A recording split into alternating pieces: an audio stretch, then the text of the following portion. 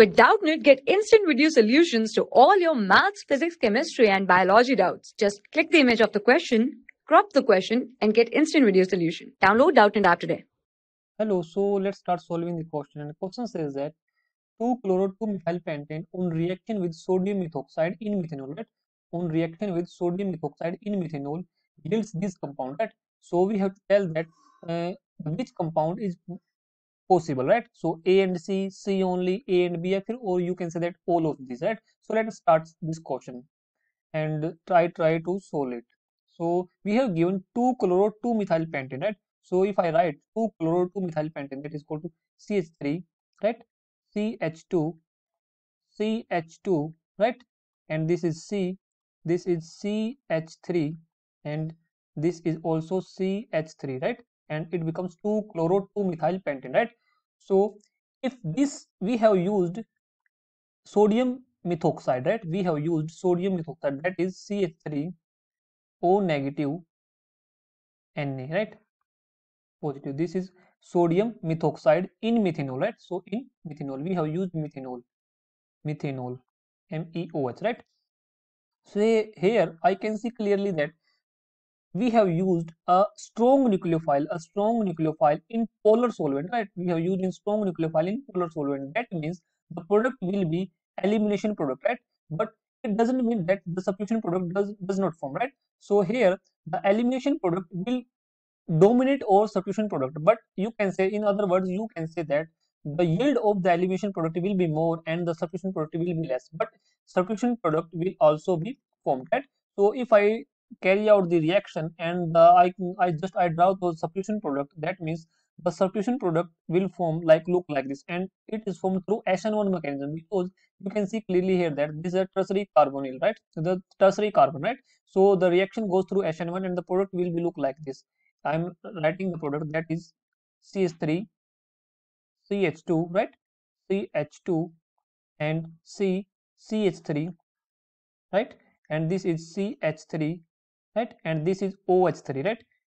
OH3 right? And the other product is here Cl and this is so it becomes NaCl right? It becomes NaCl right? So this is NaCl so this is the substitution product right? But the yield of this product is very very less right? So it is less yield less in yield. I can say that it is less in yield right? So it is less in yield right? So now move to the elimination product right? If i try to draw the elimination product so elimination product we know that the elimination product dominate over substitution product. If we take the strong nucleophile in polar solvent if we take the strong nucleophile in polar solvent right? So if i draw the um, you can say that uh, elimination product right? So elimination product will be look like this. If this is ch3 right? And this is ch2 and this is also ch2 right? And this is c and here this is CH3 and this is CH3 and this is also Cl right? So here this is 2 methyl 2 chloropentane right? So if i'm taking the strong nucleophile right? So i'm taking the strong nucleophile. You can say that i'm taking the strong nucleophile that is OCH3 right? OCH3 this is strong nucleophile which will abstract the proton right? So there is a two possibility. It will abstract the proton from here and it will abstract the proton from here right? From alpha hydrogen right? So if i'm taking the product from this i'm saying it is a and i'm saying this is b right? So this is um, path a and path b right? So if product is formed through path a the product will be look like this. Product will be look like this. You can say that the product is ch3 ch2 right?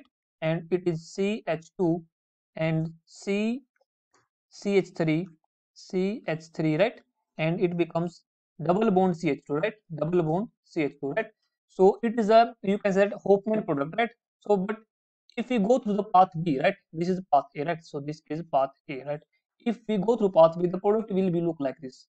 The product will be look like this. You can see that here CH3 CH2 right? And it becomes you can say that CH2 CH2 right and it becomes double bond right so not CH2 it becomes CH double bond C CCH3 right here CH3 and here CH3 right so it is kind of uh, more substituted product, right? You can say that Saytzeff product, right? So this is along path B, right? So these both product are eliminated product, that's elimination product. So here we can see that all the products are possible through this reaction, right? So if we take the uh, strong nucleophile in polar solvent, right? So, but in case of this, the elimination product will be more yield, right? Both of these products are in more, more yield, has a more yield, right? So I can say that this is in more yield, right? So let's check the option. Options are uh, product A and C are also possible, product C only possible, product A and B only possible, or you can say product all of these possible. So I can say here, say that easily, the all of the product are possible. So option A, option not option A, option B will become the right answer, right? Right. So option b will, will become the right answer. So this is the answer. So hope this solved your question. So thank you. For class 6 to 12, IIT JEE and NEET level. Trusted by more than 5 crore students. Download Doubtnut App today.